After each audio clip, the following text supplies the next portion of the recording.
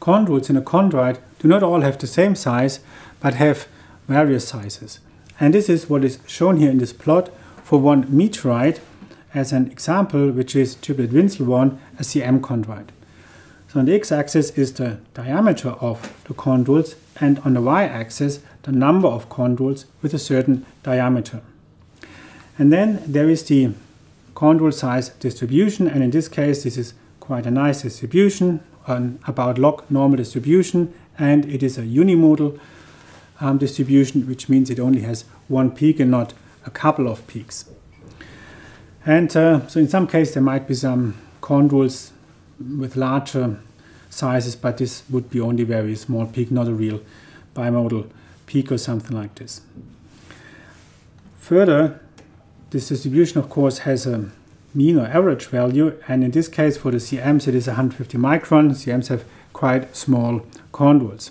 And as I said, this is quite a typical distribution, log normal unimodal, log normal to normal for chondrites, and this is what is can be seen in this um, other chondrule size plot here as well.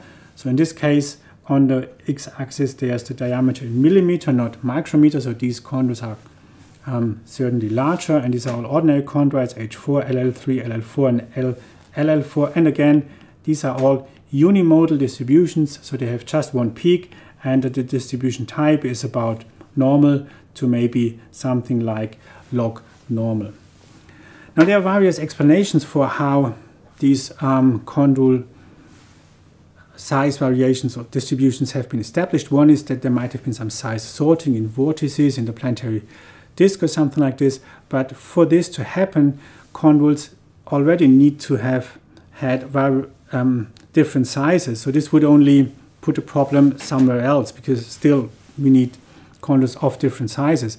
Another possibility would be that the chondrule precursor aggregates had various sizes, so the agglomeration of the precursors were more or less efficient, so larger and bigger precursor aggregates, or that during chondrule formation the evaporation produced or uh, the evaporation of material produced smaller chondrules and maybe chondrules that were at larger temperatures for prolonged times evaporated more and got smaller, something like this.